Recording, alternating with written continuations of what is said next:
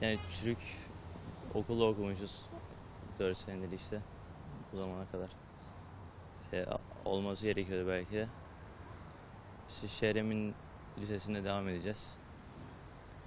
Böyle.